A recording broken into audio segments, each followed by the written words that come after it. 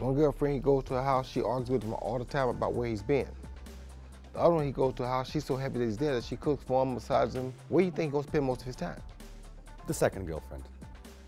Duh, but I'd rather be involved where people love me. My idol wouldn't go to the Vietnam War. That was Muhammad Ali, because they said the Vietnam people had did nothing to him. If uh, Khabib Mayweather fight materializes at some point, I feel like if I trained him, I probably could make him really go in there and be competitive. we should, we should, we should actually get this to him. Khabib, come on, think about it. Masvidal, the, one of the biggest stars right now, he said he would love the prospect of fighting Canelo. Canelo gonna take him apart. My shit'll keep your head spinning like a ceiling fan. I'm never mad. I kick your ass while I'm chilling, man. A short fuse, so you know I'm on the spot quick. And while I'm whipping on your ass, I'ma talk shit. So you haven't stopped. Tough shit.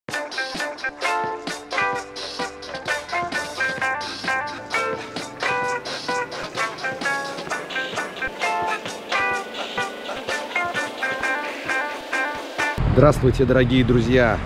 Сегодня я опять на Урале. Многие из вас знают, что когда я приезжаю на Урал, это касается либо бокса, либо смешанных единоборств. И вновь я в любимейшей академии РМК здесь, в Екатеринбурге. Сегодня здесь пройдет э, довольно прикольный боксерский турнир. Ну вот, кажется, да, боксерский турнир, ну, что-то особенного. А этот очень особенный, потому что его проводит просто легендища, легендище бокса. Просто человек, у которого, которого, ну, просто он абсолютно уникальный, он очень крутой, он не только э, боксер, он еще и рэпер. Ну, вы, конечно, знаете, о ком я говорю. Зовут его Рой Джонс-младший. И он россиянин. Так что сейчас сходим на турнир и пообщаемся с самим Роем. Поехали.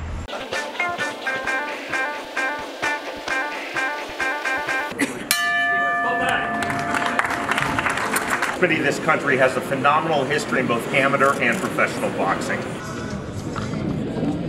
Одна из главных прикольных особенностей именно этого турнира, что он транслируется через платформу UFC в Америку. То есть там сейчас на восточном побережье утро. Ну что, прикольно проснуться в субботу утром, заценить боксерский турнир из Екатеринбурга, где уже, естественно, поздний вечер. А, И вот эти два совершенно колоритных типана, а, они, собственно говоря, комментируют э, для UFC на Америку. Их зовут Шон Yagarov is a guy who I think could be fighting for a world title in a few years. He's 9 and 0, 7 KOs. He's clearly the A side of the card.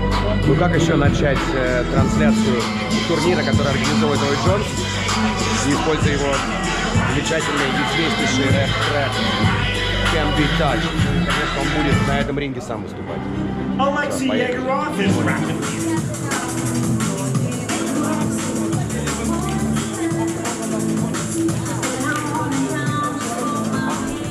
Вот я смотрю на карт.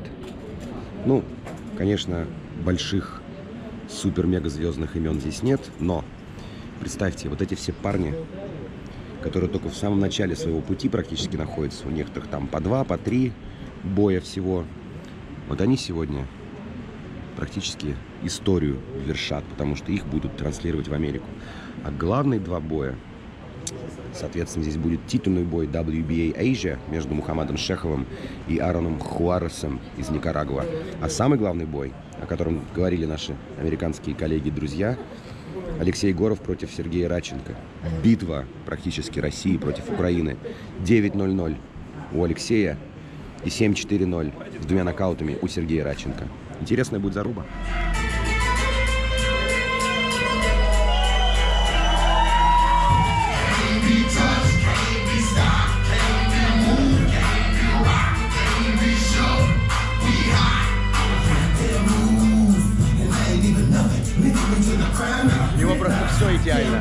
Идеальный боксер, идеальный. И даже девчонки танцуют с просто идеально. Вообще, он идеальный человек.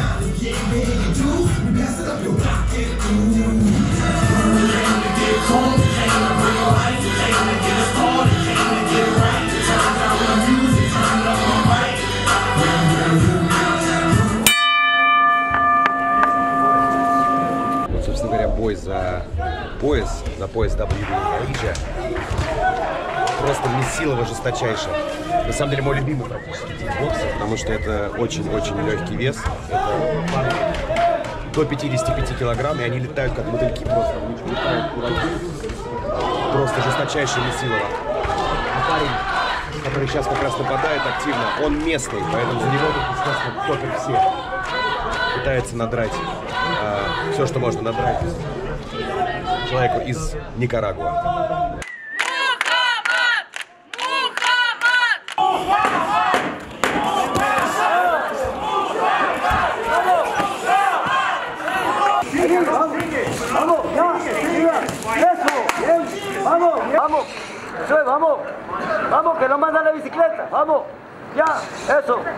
Voy. Tira tú, tira tú. Tira tú primero, hombre. Your winner by unanimous decision and still undefeated WBA South Asia Super Bantamweight Champion!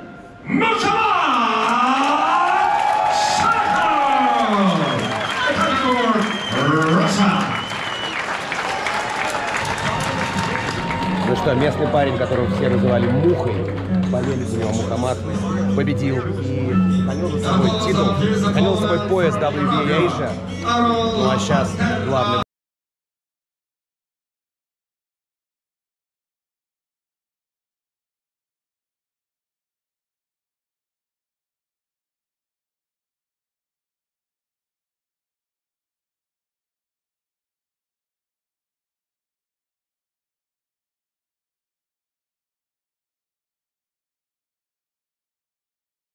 Прикольно, да, у украинцев выбор песни для выхода на ринг. Тина Тернер Simply the Best. Simply the Best.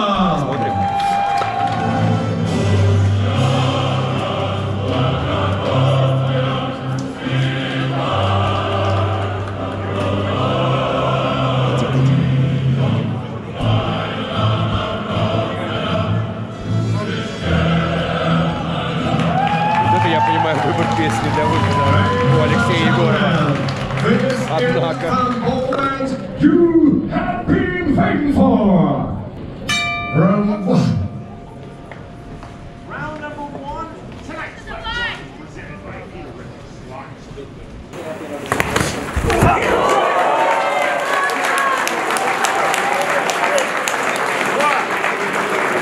There's a good right hand gets through from Yegorov. Snaps the head back with that powerful jab. Руки! Руки на место!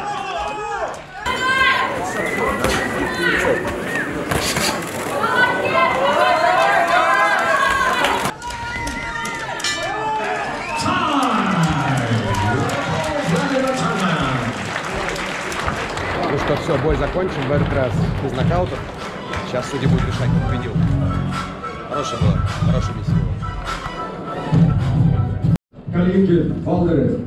And Kilonian Army agreement scoring the same 100 to 89.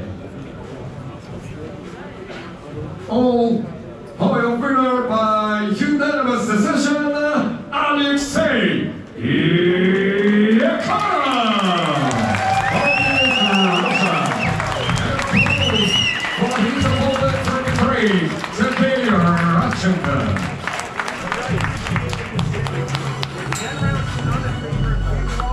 что, десятая юбилейная победа для Алексея Егорова. В этот раз без нокаута. Но, тем не менее, десятка есть. Непобежденный. Вот американские коллеги все время говорят в комментариях, что он скоро пойдет к поясу. Надо не узнать, собирается ли он за пояс.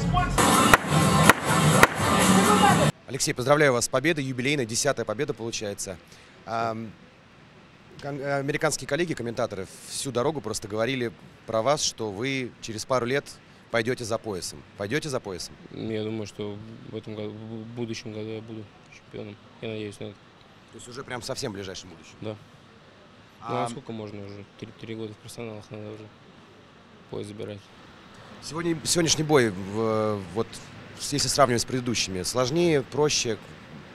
А, бой, э, он непростой бой, скажу, но и не, и не архисложный. В принципе, понятно, я чувствовал, видел, все у меня, в принципе, получалось, по большому счету.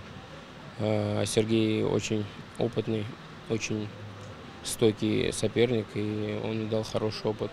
Это огромный опыт, и спасибо ему большое за этот бой. Последний вопрос. Э, Вот сегодняшний весь турнир транслировался на Америку. Люди проснулись в субботу утром смотреть бокс. Я думаю, что они его смотрели в любом случае. Вот факт того, что вы выступали перед огромной американской аудиторией, и плюс еще сверху сидел легенда, живая легенда мирового бокса. Как докладывал немножко давление на вас? Ну, я думаю, что я не в том возрасте, чтобы меня, на меня это накладывало давление. Э, На меня давление накладывают другие вещи в жизни, поэтому это приятный бонус ко всему этому шоу, ко всему, к моей карьере, что зарубеж, я, меня покажут зарубе- зарубежному зрителю, зарубежному, меня появятся зарубежные фанаты. Это здорово, это приятный бонус. По-моему, очень, очень хороший, крепкий такой э, главный бой вечера. Ну, а сейчас за самым вкусным десертом. Надо пойти пообщаться с Роем Джонсом-младшим.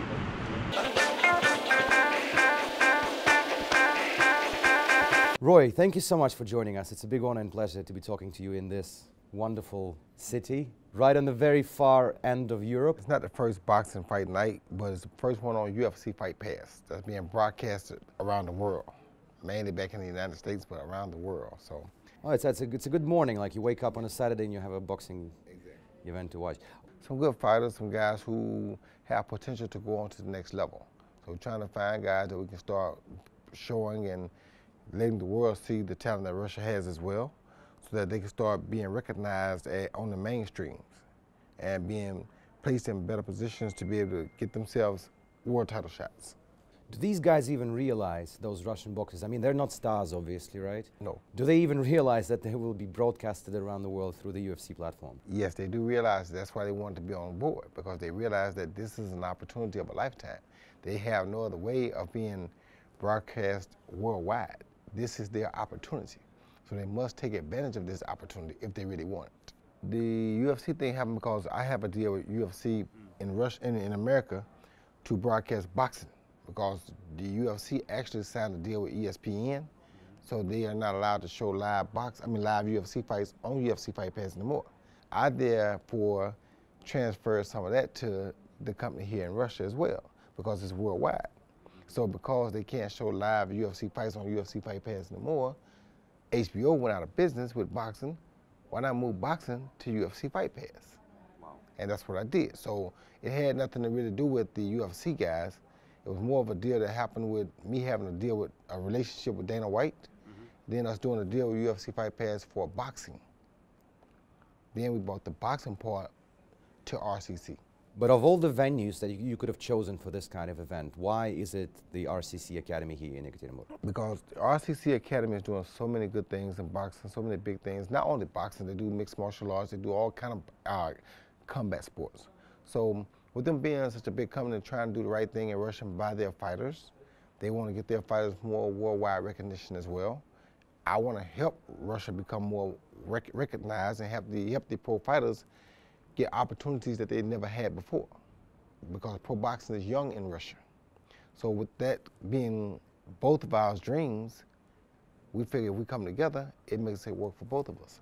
So we came together in this first one, and so far it looks like it's working very good for both of us. Could you tell us more, a little bit more about, um, you know, the projects that you've been doing in Russia? Because back in 2015, when you were asking the man himself about the citizenship, you specifically said that, you know, the citizenship in Russia would allow you to, to do business easily. So how has it progressed since then? Well, you see, I got a UFC Fight Pass date here now in Russia, so it wasn't like I was lying. Having citizenship makes it easier because I can come over now and work things that I can tie back into the United States and the rest of the world. So I also, I'm also doing some some um, social projects with the kids. I have done three so far. Had 100 kids in two different places in Siberia. Had 100 one place, had 100 in another place, Irkutsk.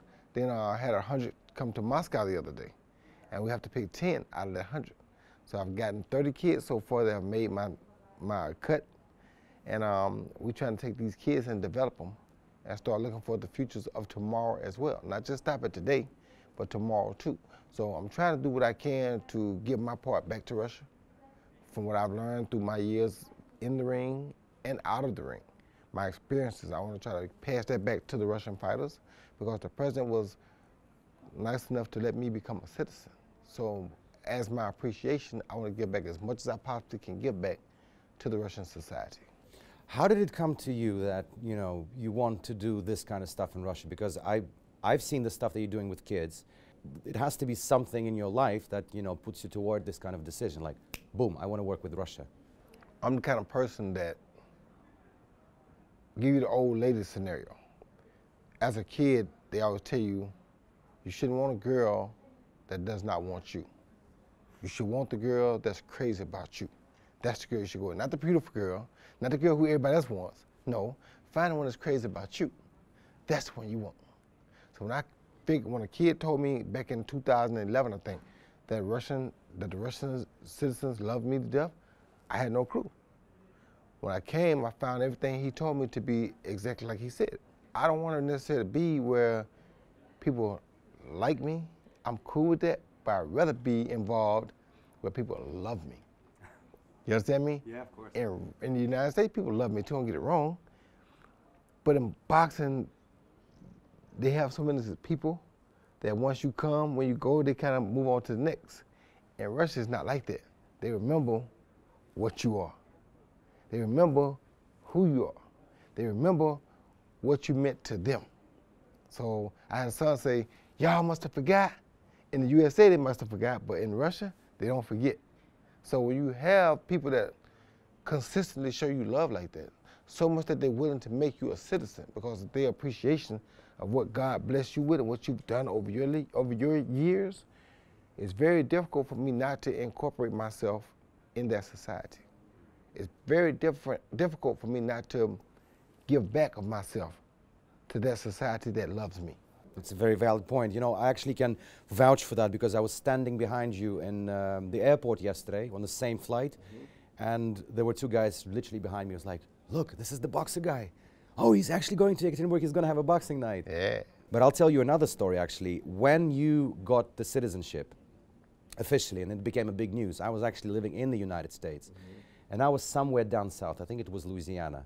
So I was sitting in a bar, and there was like this one old chap reading a newspaper and he sees like, Roy Jones is now a Russian citizen, and he just starts swearing around the bar, saying like, "What's wrong with our government? They let a guy like Roy Jones defect to the Russians."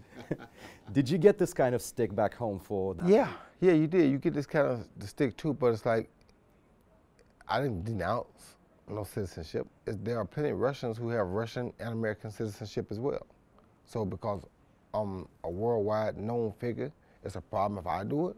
But it's okay for them to do it. It's okay for some Americans to have dual citizenship, but is it wrong for me because I'm known? But these Russian people love me. These Russian people appreciate me. We love and appreciate one another. So I hear you, but I don't hear you because God made us all. And in reality, we're all brothers and sisters. In reality, we're all supposed to be connected. In reality, we're all supposed to love one another. So if they love me and they showing me that they love me, of course I want to go where I'm shown love at. If you have a man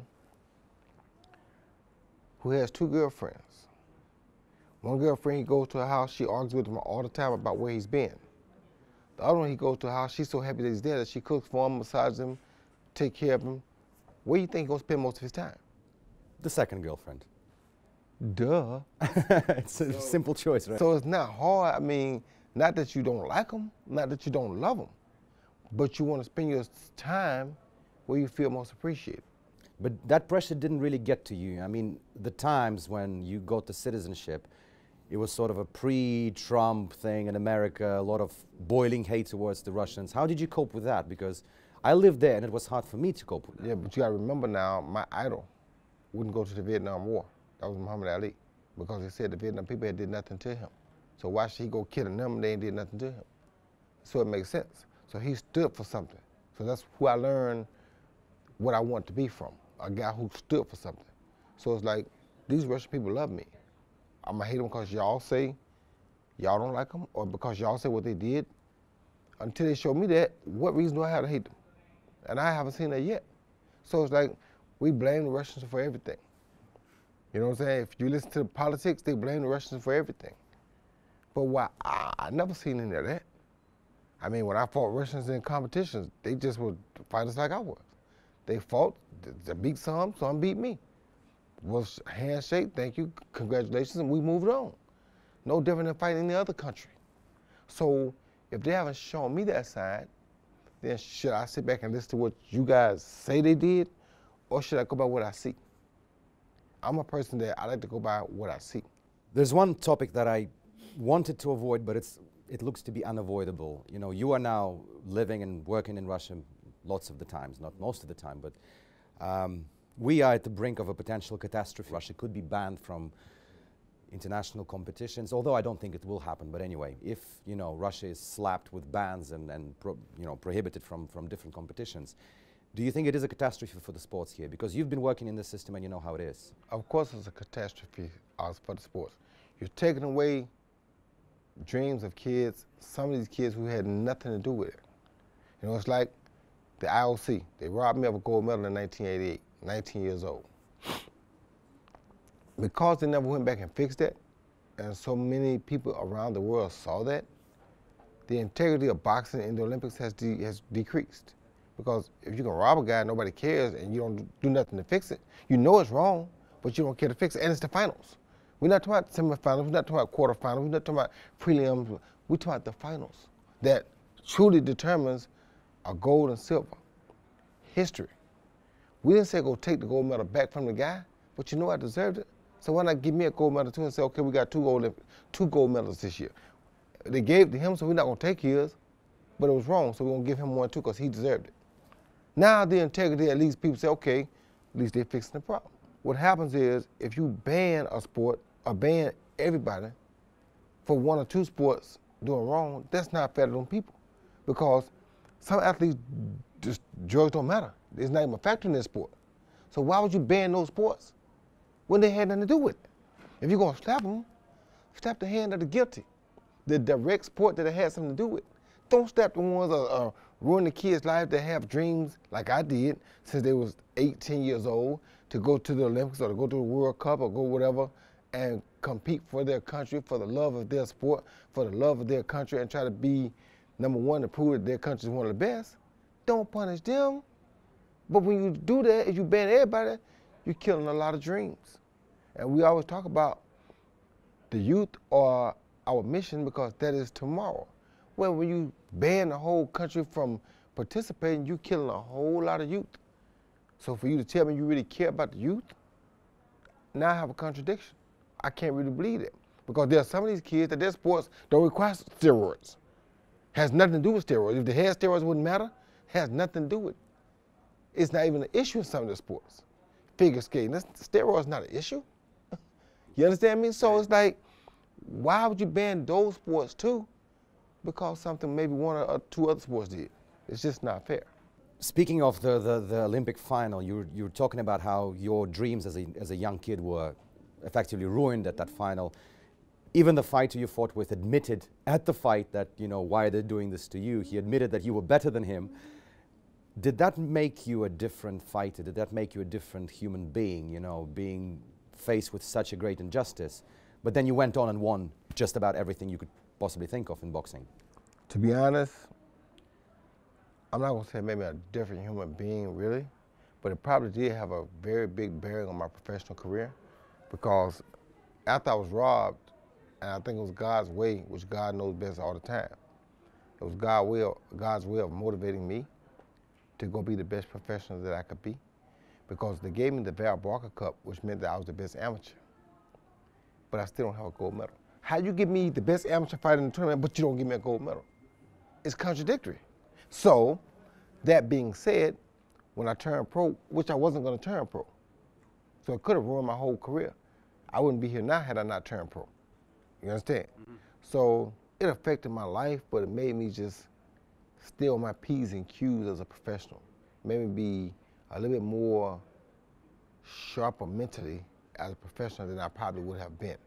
Because I had a lot of friends that would lose like their 12th or 13th fight because they thought everything was going so good and easy for them. Then they have a lack night, a lackluster night, and they lose that wasn't gonna happen to me because I was still pissed off from losing the gold medal fight that I knew I won in Seoul. So definitely wasn't gonna stop me because of that. So that kind of helped me, but it still stuck with me because since I was a kid, since I watched the 1976 Olympics at seven years old, I wanted to go to the Olympics. The reason I'm asking you about, you know, about Seoul um, is because I want to see what kind of future those children might have. Yeah, it's going to be horrible. It's going to be horrible because you're going to kill a lot of dreams. and we don't know how long it's going to last for, but you're going to kill a lot of dreams. So, see, in, in, in our country, uh, in the USA, when I started, it was like high school. You did, you did your time as an amateur. When you got open, you got your four-year window. And that's every four years, it's an Olympics.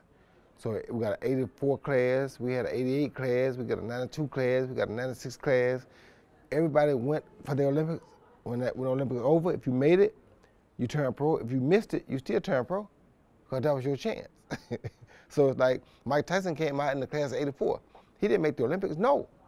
Now he came back as a pro and beat up all the guys that did make the Olympics.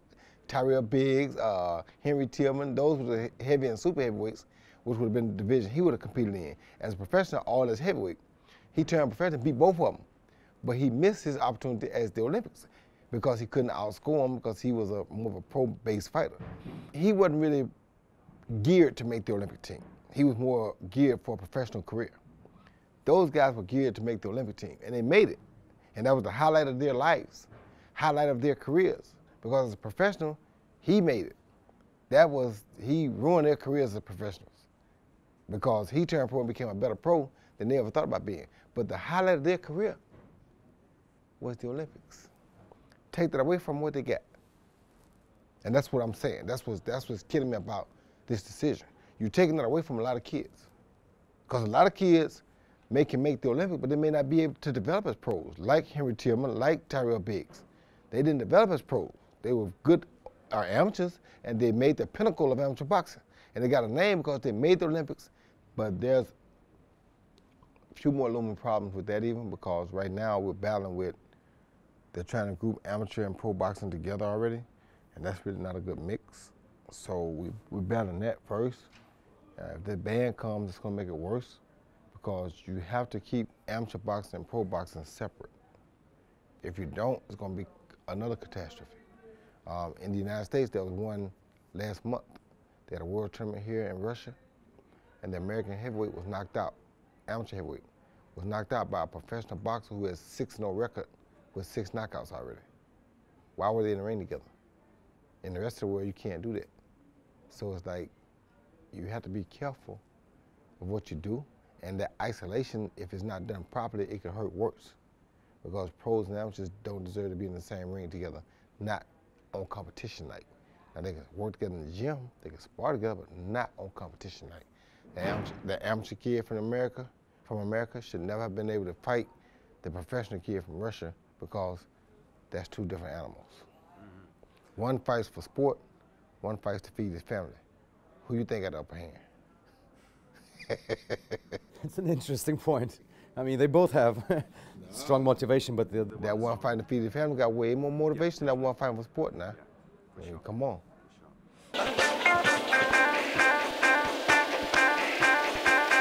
What do you think about the modern day boxing it, as it is? Because I can't call it anything else but freak fights, like Mayweather against McGregor.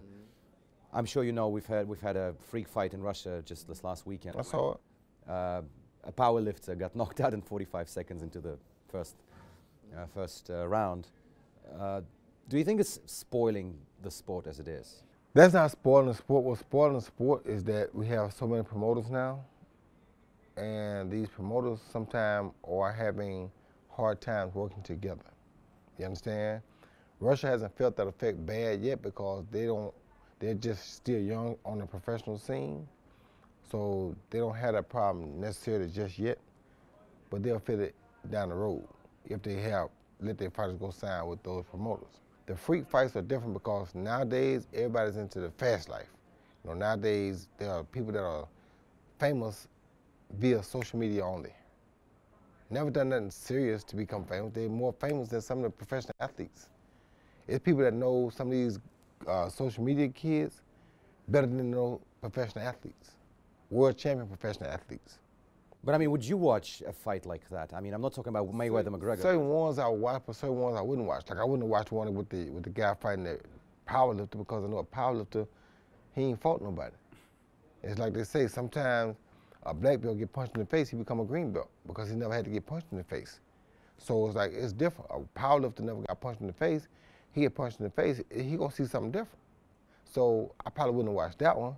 But McGregor Mayweather, I would have watched it because McGregor know how it is to get hit in the face. I know he wasn't good enough to hit Floyd in the face, but I know he knew how it feels. So I just want to see how long he was going to try. You did, did you think he did well? He did well because he tried. He lasted 10 rounds, which I didn't think he would do. Um, he did. He lasted a lot longer than I expected him to, and uh, he, he did very well as far as what was expected of him, if you know boxing. But you knew he didn't have a chance coming in. But what bothers me is that in the state of Nevada, sometimes the commission, the commissioner, I've had guys, I had two guys not long ago. One guy was 14 and 1, the other guy was like 13 and 2. He made them fight six rounds. Said they weren't capable of going 10 rounds. They got 15 amateur I mean, pro fights apiece.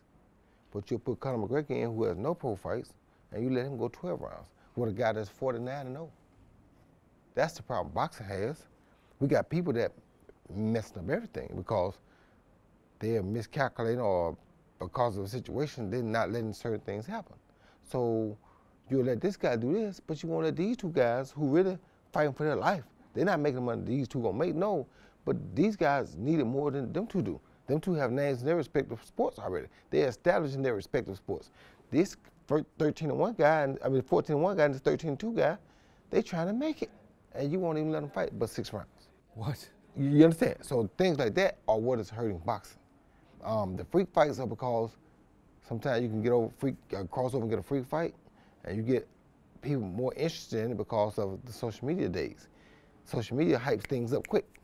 It's social media guys that are fighting amateur fights that are making more money than guys that are good professional fighters. The, the KSI Logan Paul. this- Like that. It's happening. It's not fair, but it's happening. But what do you think about, you know, the fact that it's happening? You can't think nothing about it. You can't hate on them for being able to learn how to use social media and make that kind of money. You just feel sorry for the real fighters that they don't, that they are not fortunate enough to be appreciated or accepted like that.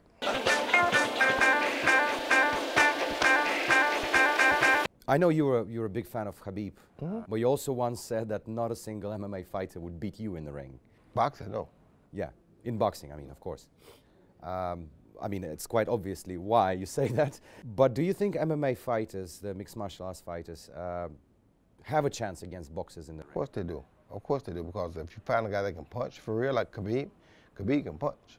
If Khabib hits you right, he'll knock you out if he can catch you right. Now, he ain't uh, just a solid, straight up, like all day boxing, but he got good boxing skills. And he can punch, so he's a little bit different. McGregor, to me, is a good boxer, but he's not necessarily a puncher. Khabib is a puncher. So anybody that can punch has a chance. MMA ki- guys that can box a little bit and can punch, they have a chance. MMA guys who can box but don't have a real punch, they're not gonna beat boxers because they don't box full time. So hypothetically, if uh, Khabib Mayweather fight materializes at some point, I know it's all speculation, but you know there's been a lot of talk about that. Do you think he actually stands a chance against Floyd? Depends. If he gets trained right, yeah. If you don't get trained right, no. But if you get trained right, yeah. I feel like if I trained him, I probably could make him really go in there and be competitive. You feel me? Because I know what to look for, what not to look for. I'm a, that's what I do. I'm a guru at boxing only. Can't tell him nothing about the MMA, but boxing I can tell him everything about. So if I train a guy like that and he has the heart, and I know he got the heart because I've seen it already, and I know he got the punch because I've seen it already, we can make it very interesting because of the fact that I know what it takes to beat most styles. Roy, is that an official offer on the table? For No, no, no, no, no. I'm just saying. I'm just saying. If somebody like if Emanuel Steward was alive and Emanuel Steward trained him, he'd have a good chance. There are some other trainers out there that probably could train him to do the same thing. Maybe some trainers even in Russia that could do the same thing. I'm just saying that if the right trainer got him, because he can punch and he got a good boxing base already, he could be competitive. But you'd love to, to coach him. Why not? On a, on a fight that big, why not? Why not? We should, we should, we should actually get this to him. Khabib, come on, think about it. He knows. He knows. you know, oh, he knows. Okay. There's another sort of MMA boxing related story going on. Uh, Masvidal, the one of the biggest stars right now. I mean, when he took out Askren, was made him quite famous immediately. Uh, he said he would love the prospect of fighting Canelo. Uh, do you think that could be a good fight? No. Canelo gonna take him apart. Canelo is not the one you want to mess with right now. Canelo is a little bit different than a Mayweather anybody else. Canelo is a whole different animal. When you go in there with Canelo, you better have your mind right, because Canelo coming to get it. Um, Triple G said Canelo ran from the first fight. So what did Canelo do? Chase him the second fight. you hear me? Yeah. Canelo ain't, nothing, ain't he is not the one to play with. So no, I don't think he have a chance with Canelo. It ain't many boxers that have a chance with Canelo right now. So let alone an MMA guy. Now I commend him for wanting to take the fight, and I'm sure we'll pay to see it because they both have huge fan bases in two separate arenas. Mm-hmm. So that when you bring them two fan bases together, that's a great night, a great sporting event. So yes, I would love to see the fight. Yes, I love to see how what he does and how much he takes, and how long it takes Canelo possibly to get him out. But I don't necessarily see him beating Canelo. No. Uh, in the Roy Jones list of best pound for pound fighters in the world right now, where does Canelo stand? I got three of them. My vote for skill for skill would be Vasyl Lomachenko, mm-hmm. but we haven't really seen him take the best punch. My vote for proven commodity and with some of the best would be Terence Crawford, but yet we still haven't seen him fight at Errol Spence. Mm-hmm. So my vote for one that just did it and fought them all and still conquered and got to the top would be Canelo if Lomachenko beats Tank Davis, then he may get back to the top because he beat all the good fighters in his weight class too. But he's been down, and we haven't seen him with a puncher like Tank Davis, and he's been down. So if he can nullify Tank Davis, then I may put him back up number one. And it's still, like I said, any of those three guys can be number one on anything. I can say Canelo number one, I can say Crawford number one, or I can say Vasyl Lomachenko number one. All three of them I can give number one for different reasons. Wilder is not anywhere close to that, right? He's not there yet. Um, he's getting close, but he's not there yet because he had a draw with Fury. And um, he did drop Fury twice, but he had a draw with Fury. We've seen him struggle with Ortiz. He did knock him out, though. He knocked him out the second time. He's knocked him out the first time, too, but we've seen him struggle the first time. And the second time, Ortiz outboxed him, but he played a smart. He was very smart. He showed maturity in the second fight. So he's getting there, yet I haven't seen him do enough to really put him in that pound for pound list. I mean, there's definitely most popular and pound for pound. See, when I say pound for pound, to my guys that can do it all. Crawford can beat you left-handed, Crawford can beat you right-handed, Crawford can knock you out with the left or right hand, Crawford can knock you out going forward or going back, Crawford can knock you out going left or going right. So can Canelo, so can um, Lomachenko. Can Wilder? We don't know. We ain't seen it. So it's like, when you say pound for pound, I'm not one of these people that give it to them because of how popular they are. Now you say who the best puncher in the league right now, or in the, in the, in the game now? I'm telling you, and Deontay Wilder.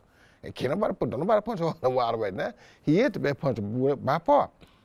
But that does not translate into the best pound for pound boxer. Pound for pound, you can do it all. The second fight that they are looking to have, I think, in February 2020 next year, which is in about two months from now, actually, it seems like long ago, long ago, but a long away. But uh, do you think it's going to be a, a, a, cracking bout, or is it going to be another bore fest? Because the first one was really boring. The first Fury fight. Yeah. Yeah, it was kind of boring. And if it lets Fury make it boring again this time, then he still won't raise, won't rise in the higher in my pound pound chart. If he goes out outbox Fury and take him out like he wants to, then he'll go very close to the top. Fury was better in the first fight. Of course he was. Of course he was. Fury is a good boxer. Fury is a smart boxer. That's why I said I can't put Deontay on my pound pound top five yet because Fury outsmarted you and lasted. You gotta remember you you the best puncher in the game. Steve Cunningham also dropped Fury, and Steve Cunningham was a cruiserweight, not known for his punching power. Right, but if you were, let's say hypothetically, to put money on either of the boxes, the Fury or Wilder, in the upcoming fight, who would you put the money on? Probably put my money on Wilder because of the weight that Fury has lost. Uh, I don't know how well it's going to allow him to be able to take that punch now. Um, I like Fury as far as the boxing skills went when he was bigger, because I know that he could take the punch better. And he still dropped dropped him twice, but he got up. The extra weight I think helped him a little bit. Now this time without the extra weight, I'm a little scared because the biggest problem he has is taking Wilder's punch. He can outthink Wilder, and I think he probably a better boxer than Wilder, but that's not where you got to beat Wilder at. The punch you got to deal with. So if you lose weight and lose mass, I don't know it scared me all the time because I know what happened when I took all that mass off. So if he can get past that, then he'll probably beat him again because he's definitely a better boxer and a smarter guy when it comes to boxing. I have one last boxing related question and it's a very hypothetical question. If you could hop into a time machine and go back to your peak years, say 20 years ago, 15 years ago, and get a fight with any boxer in history, I'm saying even like maybe 1920s. I'll fight Sugar Robinson. Why not Rocky Marciano, for instance? Because Sugar Ray Robinson was the closest thing I've seen pound for pound as far as all the skills, all the attributes, hand speed, power, explosiveness, up and down the weight, closest I've seen to myself. So I want to fight the best. Um, Marciano was good, but you know how his record goes. You know, I mean, he got cousins on his record. You know what I'm saying? I, hard to say that. You know, I understand he had the undefeated record, but undefeated record don't necessarily mean nothing because we never seen you go through nothing. You feel me? We're seeing Robinson go through stuff. We're seeing Robinson go through rounds and rounds and rounds with the Raging Bull who would never stop coming. We know what Robinson was. It's not a question of what was he what we think he was. We know he was.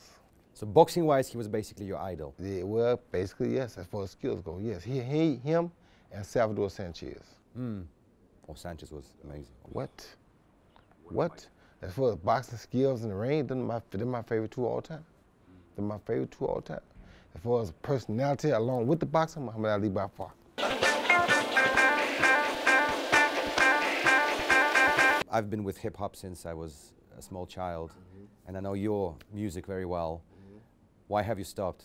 I haven't stopped. I got one I did a little while ago called If You Want to Come and Get It, man. You know this right here, I'm always with it, man. My shit'll keep your head spinning like a ceiling fan. I'm never mad. I kick your ass while I'm chilling, man. A short fuse, so you know I'm born to sport quick. And while I'm whipping on your ass, I'ma talk shit. That's just me. I gotta do what I gotta do. I promise you an ass whooping, I can't lie to you. My last fight, I had to lose 25 pounds. I still broke him off uh, 25 rounds. With one hand, I got at least 25 styles. I'm more deadly than a country full of mad cows. They better stop me. Niggas can't see the RJ. Don't put me in your VCR, cause I don't play. A lot of people say they game, but they won't stay. Scratch time across the line, niggas walk away. That ain't nothing if you want to come get it. Yeah. So you haven't stopped. Tough shit. I ain't stopped. What I meant by uh, stopping, meaning that your last full album was so many years ago. Wh- wh- when can we expect a new one? Uh, 2020, a new one will be on the board. Trust me. 2020. So you coming out in 2020? Yes, sir. 2020 to be back. I'll be right back at it. Okay, can you promote it to me? What what? Body what Head Banger Volume 2. Um, I got Juvenile on there. Juvenile. Juvenile. Back I that got ass my up. Man, SM Bullet. That's my new Body Head Banger. Um, Marvin Bagley III, the basketball player. He's on there. Um, should have a few more people on, and right now everything is going good. I'm enjoying it. I got a couple of them that I like. Got one that's called um, I Do It Big for my man Mr. Magic who passed. That's one of my favorites. I got another Body Head Anthem, but it don't go. Volume two. Yeah, volume two. Yeah, so it's kind of hot. It's gonna be hot. I, I love it. I'm loving it so far. So I'm thinking you you see. I got another y'all must have forgot. That's why I got Marvin Bagley on that new y'all must have forgot. But uh, it, it's pretty cool. Wh- wh- wh- who was your inspiration? Scarface. Scarface. My favorite artist of all time. And people say, why would he be your favorite? People say, why would he be your favorite? Because the things he rapped about, I could relate to him. I don't believe in, like that's why I don't, I don't rap about drugs and stuff because I never did all that. I don't rap about gangs, I never did all that. I rap about what I done. If you're rapping about something, rap about something that's true to you. Do you do your lane? Then I can believe you. I can ride with you. If it ain't your lane, don't give me that because you ta- talking about something that you really don't do. He talked about what he did, and most of what he did, I can relate to. You understand? Not the drug game, but the other stuff he went through, I can relate to. And he always has a religious song on his album, and people don't know that. But every album he put out, he gonna have a religious rap song on there. People don't know it, and sometimes they don't understand it because the way he say it. But it's a religious rap song in every album he put out. I really liked him when he was part of the Ruff Ryders. No, he wasn't. That was, that was DMX. He was, No, no, I mean he was doing some. He might did a song with. But in the traditional East Coast West Coast, which which side of the barricade you were on? I don't really know. I mean, I think I probably was more East Coast, but um, I love Snoop, uh, I love Dre, love Cube. I mean, I love both. So it's like hard to say, but on the on the mass, I think it probably was more East Coast rappers that I like than I like West Coast rappers. Five, four, five West Coast that I like, but probably ten or twelve East Coast that I like. So East Coast would have won over because of how many more. Like they had the Nas, they had Jigga, they had uh, Mobb Deep, they had Biggie, they had so many different ones. I mean, from the Jam Master Jay days to, I mean, UTFO, they had so many. Plus, it was born there. That's what I'm saying. So how can you say West Coast better than East Coast when East Coast what started? Like I tell people all the time, don't tell me Muhammad Ali ain't the greatest because if it wasn't for him, I wouldn't start boxing. So I'm gonna say, oh, I'm better than no. I mean, even if I thought I was, I'm not gonna tell you that. He the reason I started. If it wasn't for him, I would never discover who I came. I would never know what God had gave me. So he the reason I found what I was. I can't tell you I'm better than him. Without him, I might not even be boxing. Well, what do you think? I mean, I've asked you about, um, you know, the, the, the way the boxing has changed as a sport with all the, like, you know, new things in it, novelties, freak fights and whatever. What do you think about hip-hop music and rap music? Because honestly, I cannot listen to the new ones. It's changed a lot too. It changed so much that because now, don't get it wrong, there are some good artists now too, but it's more watered down now. It's like you can do things that you couldn't do back then, and you can be famous. It's just like just like with, just like with everything else, social media. You know, you can become famous overnight by doing nothing. Now you get a song that everybody likes. It can be the stupidest song in the world. Exactly. it. It lost the, li- the, the lyrics, right? Lost the po- poetics. There's a few that have, but not many. You don't need that no more. Because now, like, if you got a lot of lyrics, people won't listen to it.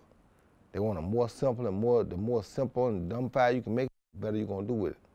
Because true lyricists are not appreciated no more. Just like with boxing, true boxers are not appreciated no more. But you got a guy that can do a little bit of everything. MMA guys, two years, they on top of the world.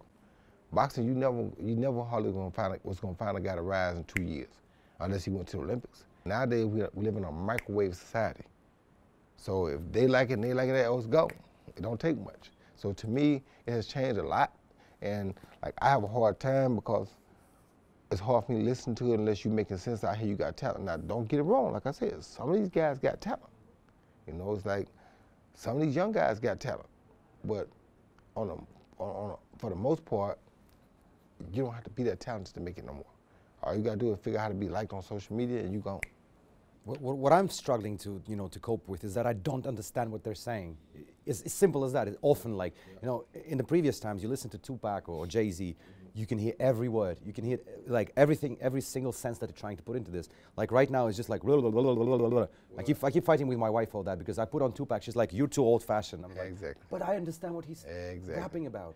because because for us, we're into more being motivated by music. You feel me? That's why I, make, I like to make music that motivates people. The music they make now, they're not really trying to motivate you. You know what I mean? They just trying to make sure the young kids can do the same thing they doing, and the young kids understand it. We don't, because we we out of that age. We out of that group where we want to go fast, understand. No, we want to hear you tell us something that makes sense, that we can relate to. You understand me? Mm-hmm. So I mean, you know, what goes around comes around. We want to hear something like that. You know what I'm saying? I'm a survivor, whatever. We want to hear stuff that we can relate to. We don't want to hear just you jib jabbing to make stuff match and call it a song. That what does, which one of us is gonna do that?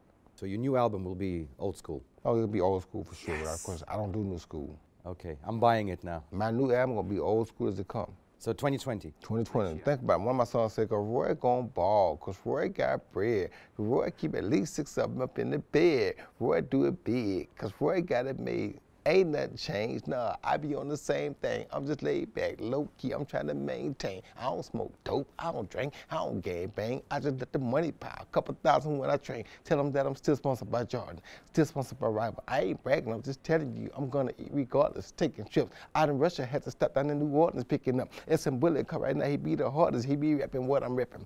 Ain't no half stepping when it come to whipping ass. I'm giving lessons. If you don't believe me, try me. We can set it up. Tell Anderson Silva to stop ducking me and set it up and stop playing. It's real. It's old school, bro. Trust me. Yeah, like. Consider this official advertisement of the new album. It's old school. You better believe Roy, it. thank you so much. Appreciate Thank you. it. That brother. was great Appreciate it. stuff. Thank you, man. And I look forward to your album. Yeah. Что, друзья, надеюсь, вам понравился блог про турниры, интервью с потрясающим Роем Джонсом-младшим. Я погнал дальше, собственно говоря, на Туманный Альбион. Подписывайтесь, шерьте, лайкайте, общайтесь со мной в комментариях, всегда вам отвечу. Обнимашки и пока, до скорых встреч.